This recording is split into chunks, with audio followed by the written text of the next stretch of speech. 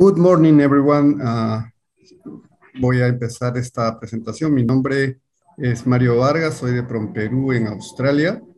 This session will be conducted in, in English. Uh, uh, we have a special guest that we deliver uh, her presentation from the Gold Coast. Esta sesión se va a llevar a cabo en inglés. Eh, eh, tenemos un invitado especial. Estoy transmitiendo desde Australia, de la oficina de PROM Perú, y voy a... Anneli está eh, transmitiendo a una hora más temprano que eh, Sydney. Anneli es, ha estado trabajando en el sector de privacidad, tiene una empresa de consultoría de eh, privacidad que se llama PriveCorp, trabaja con oh, clientes en todo el mundo, startup, eh, empresas y gobiernos, y ha trabajado en la eh, función de privacidad transfronteriza de APEC y fundó la Asociación de eh, profesionales de privacidad de Australia y en Nueva Zelanda. Es una persona muy importante y embajadora eh, de la participación de mujeres y eh, adolescentes en la tecnología y ha trabajado para las iniciativas del gobierno australiano para fomentar las iniciativas dirigidas por mujeres. Ha trabajado ha viajado por eh, América del Sur y ha visitado Machu Picchu antes eh, de que se eh, llenase de turistas. gracias a Denise por ser, formar para ser nuestra invitada en esta sesión y estamos muy felices de escuchar lo que nos tiene, lo que tienes que compartir. Gracias, eh, muchas gracias, eh, Mario. Estoy encantada de participar en este evento de inversiones de alta tecnología en línea. Y eh, como dijo Mario, mi, lugar favorito durante el viaje a América del Sur durante seis semanas fue precisamente el Perú, donde estuve dos veces. Voy a compartir con ustedes ahora mi pantalla. Muy bien, entonces eh, quisiera darle un poco de eh, eh, antecedentes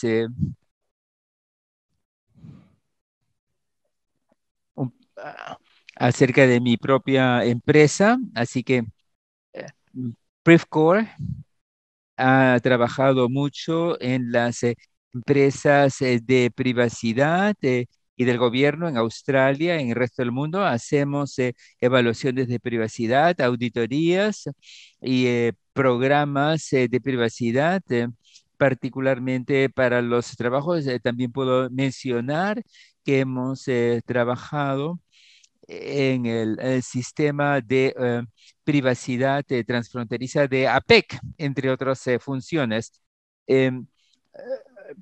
Para quienes no han tenido mucha experiencia en este sector, es eh, una cuestión que ahora es un tema muy, muy importante, muy debatido y quisiera mencionarles eh, cuatro eh, tendencias que han aumentado la importancia de la privacidad.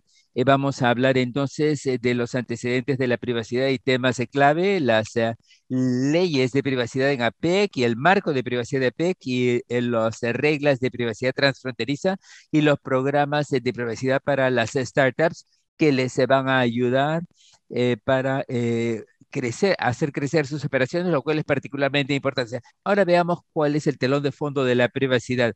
Hay cuatro tendencias importantes. Eh, primero, el progreso de la tecnología, luego la recolección y personalización de datos eh, masivos, las irrupciones en los datos y la caída generalizada de la confianza y la falta de una licencia social. Vamos a ver cada uno de estos temas uno por uno. En primer lugar, con respecto a los progresos en la tecnología, es mucho más fácil almacenar información hoy día ya eh, de manera mucho más barata, es, eh, es eh, mucho más fácil mantener los datos y ah, tenemos la capacidad de procesamiento computarizado en redes ha aumentado y también tenemos mejores algoritmos para toma de decisiones mediante el uso de inteligencia artificial, por ejemplo. también tenemos una tendencia a una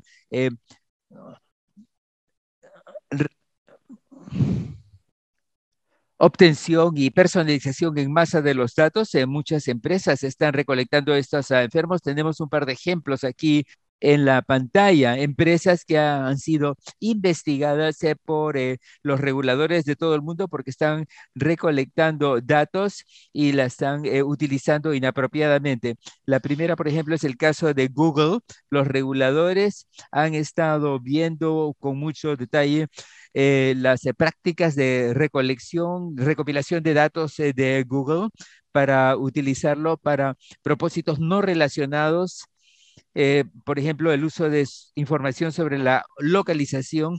Y luego tenemos el carro de Facebook hace un par de años, por ejemplo, hubo el caso de Cambridge Analytics en el que se estaba utilizando eh, información recolectada eh, sin el consentimiento ni conocimiento de los usuarios. Y recientemente también en Facebook han estado recolectando imágenes y eh, luego tenemos eh, también eh, presencia de empresas que utilizan Internet, casos de empresas que recolectan qué cosas están viendo, por ejemplo, los usuarios para venderla a los anunciantes. Estos son casos en los que los reguladores están llevando a cabo investigaciones. Son unos cuantos de muchos ejemplos.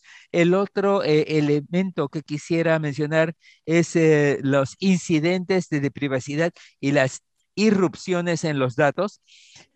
Eh, vemos casos en los medios de comunicación y tanto por parte de startups como de empresas de bien establecidas. Por ejemplo, Health Engine es una startup que es una empresa australiana que ha sido eh, investigada porque compartía información con eh, vendedores de eh, seguros sobre lo que estaban haciendo sus propios clientes, porque se trata de una empresa de servicios de salud. Y también tenemos el caso de que los reguladores están viendo no solamente cuestiones de privacidad, sino también los eh, reguladores eh, de los mercados de consumo. Otro ejemplo es el de la eh, incidentes de, irrupción de datos privados y ah, tenemos el caso de Clearview que según el regulador australiano había incumplido con las leyes de privacidad eh, porque estaba eh, compartiendo eh, imágenes de los rostros de usuarios y estaba utilizando también esto para venderlo a usuarios con otros propósitos. De hecho, se estaba aconsejando a las personas, no se les estaba diciendo a las personas para qué se estaba utilizando esta información. Entonces, el eh, comisionado, comisionado australiano sobre cuestiones de regulación de la privacidad eh, eh, llevó a cabo una investigación que sigue en curso. creo que estaba hablando del ejemplo de la situación del entorno creado por la COVID en los Países Bajos, donde las personas eh, se estaban eh, vendiendo datos eh, sobre los ciudadanos y sus identidades en información a, la prensa sin su conocimiento y algunas de las personas que ingresaban a este sistema vendía esta información personal pero las eh, personas eh, no se daban cuenta, así que pueden haber muchos eh, problemas con los que tenemos, de los que tenemos que estar conscientes. Otra tendencia que quería mencionar es esta poca confianza y ausencia de licencia social. Tenemos este informe global que se prepara todos los años, es el barómetro de confianza Edelman, y ellos se eh, preparan su informe como el mes de enero, así que este tiene unos eh, cuantos meses eh, de antigüedad ya, pero lo que se ve si son 27 economías de todo el planeta. No incluye al Perú, pero sí algunos otros países de América del Sur, como Colombia. Y en estas 27 economías se le pregunta a los informantes de la encuesta cuál es su nivel de confianza en los eh, gobiernos, los medios, los eh, medios, eh, y se combina todo esto en un indicador y hemos visto que en el ranking ha habido importantes cambios. Por ejemplo, en el caso de China, vimos que ha caído la confianza de China, mientras que Australia se aumentó la confianza, pero lo que vemos en general es que esa caída de 57, este índice de 57, 56% significa que la población, el 56% no confía en los medios, ni en los gobiernos, ni en las eh, eh, organizaciones eh, gubernamentales. Entonces, cuando lo especificamos por sector, es particularmente importante que el sector de tecnología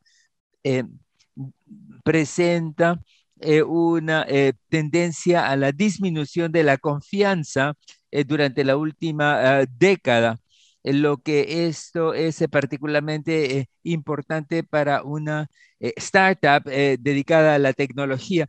También hay, según la misma encuesta, las empresas han mejorado el nivel de confianza eh, al eh, ser mejores eh, guardianes de la calidad de la información. Ahora, ¿por qué es este aumento de la información? Vamos a ver entonces que en la última década han habido aumentos en la protección de los datos y las leyes de privacidad en los países de la APEC. Aquí tenemos el mapa de las economías de APEC y eh, vemos que las, en la última década se han eh, dictado eh, leyes de protección de las leyes y tenemos estas economías en las que no tienen la cruz en la transparencia, pero incluso, por ejemplo, en países como Brunei, hay ya algunos cambios en curso, como por ejemplo que ha habido una consulta con respecto a la ley de protección, así como en Indonesia, Papua Nueva Guinea y los Estados Unidos tienen también algún tipo de legislación, eh, pero como verán, en los Estados Unidos hay muchas eh, leyes de protección de los datos a nivel de los estados. Eh, la India los incluye en otro tipo de leyes. Entonces, no hay leyes integrales o específicas, pero sí pueden existir, por ejemplo, como el caso de los estudios de Estados Unidos a nivel de los estados. Eh, los otros países sí tienen eh, leyes eh, integrales de protección.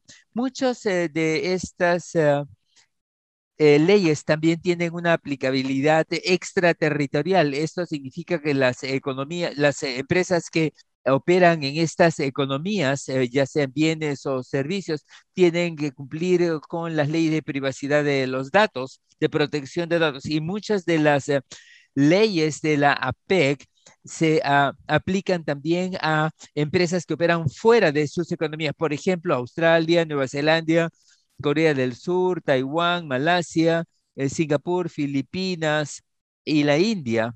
Y eh, en medida creciente cuentan con eh, leyes de protección que ah, también requieren la notificación a los reguladores y ah, esto involucra a las eh, empresas individuales. También tenemos el marco de privacidad de la APEC y las reglas de privacidad transfronterizas. Aquí tenemos en este documento principios eh, bastante generales eh, de protección de la privacidad y que tienen que ver con la recopilación de información personal para necesidades empresariales y regulando su uso y la seguridad em, fuera del uso para el cual han sido recolectadas. Así que tenemos aquí principios bastante generales de para la legislación eh, de protección de la privacidad de los datos personales. Y con respecto al sistema el transfronterizo de eh, privacidad, eh, tiene como objetivo facilitar el comercio y la revelación de información transfronteriza entre las economías de la APEC. bueno, podemos ver este problema si tenemos esta página web CBPR que presenta este marco y su relevancia para la región de los países de la APEC y que básicamente tiene como objetivo el facilitamiento del eh, eh, comercio eh, transfronterizo. Así que ah, otra cuestión sobre la que quisiera concentrarme, porque es importante para las startups, es que para crear esta confianza cuando va creciendo la startup, para que los productos y servicios puedan viajar entre las diferentes economías es, y, para em, facilitar y acelerar el ciclo de ventas. Esto puede ser particularmente importante cuando se trata de negocios entre empresas, los business to business. Y en general, hay que tener en cuenta estas evaluaciones de riesgo en áreas clínicas. Quisiera presentarles algunos ejemplos de estos eh, programas gubernamentales eh, de protección de la privacidad eh, y, lo que se tiene que hacerse en, función de los datos que se recopilan. hay que pensar en términos de las evaluaciones de riesgos, en términos generales y que tienen eh, que tener en cuenta el impacto de las evaluaciones de privacidad, las evaluaciones de riesgo de los proveedores y ah, eh, la evaluación del impacto de los algoritmos que te usan para la eh, inteligencia artificial. Y estas evaluaciones también tienen que darnos maneras y recomendaciones para manejar estos riesgos. También es importante que estos riesgos se evalúen desde un principio eh, eh, también hay que incorporar la privacidad eh, en el diseño mismo de la tecnología.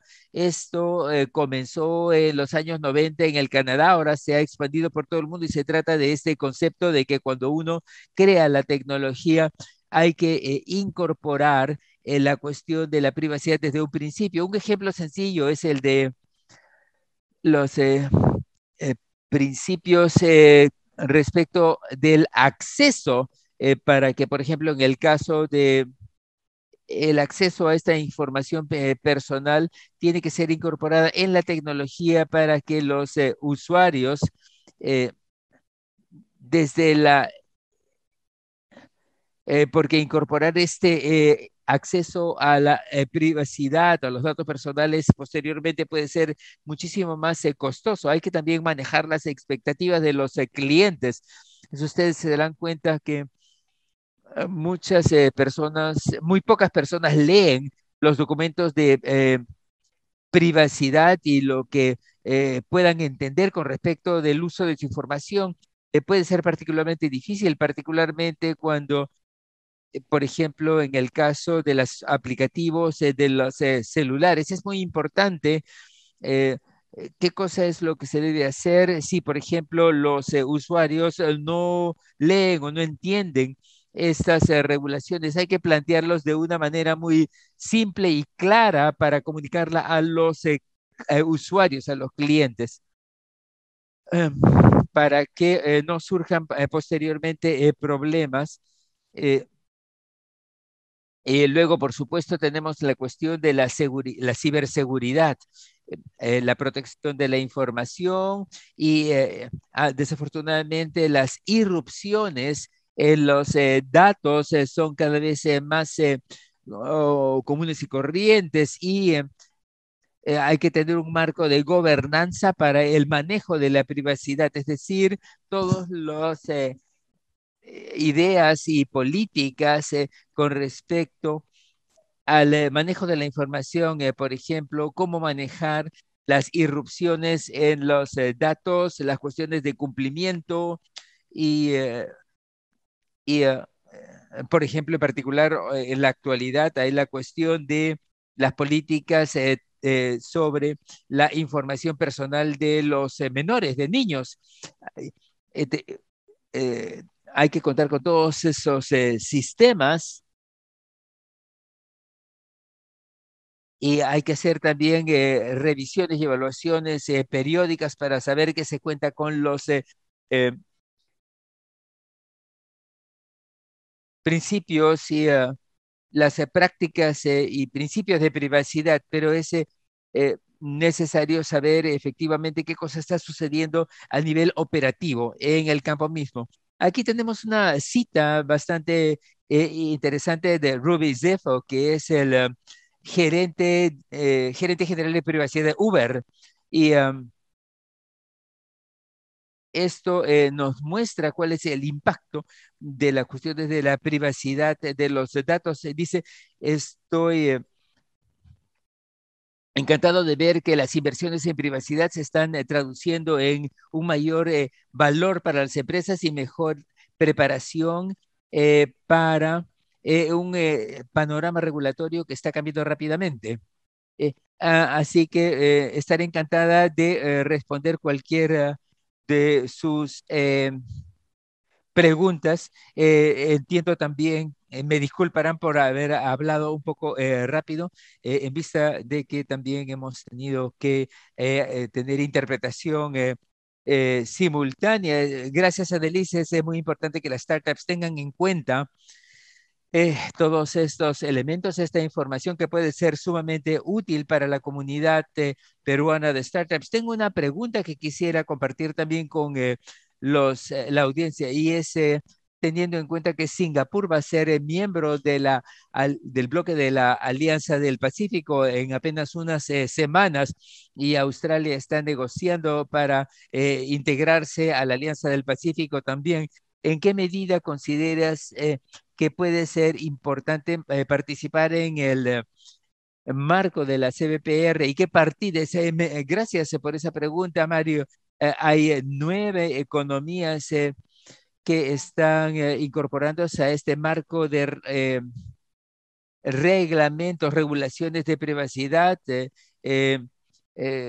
Singapur, Australia y, y también en México eh, y el Perú se beneficiarían evidentemente de este marco de la CBPR, depende de las eh, leyes de, eh, regulación de la privacidad en estos países, porque algunas de las leyes de protección imponen restricciones de transferencias transfronterizas de los datos y hay una serie de condiciones que hay que, con las que hay que cumplir. Así que hay que ver estas leyes en la propia economía y las otras economías para ver cuáles puedan ser las eh, restricciones desde el punto de vista sobre todo de la economía que está enviando datos a otra, eh, a otra economía, porque por ejemplo eh, puede haber leyes de protección de los datos que impiden que se transfieran estos datos a menos que se cumplan con determinadas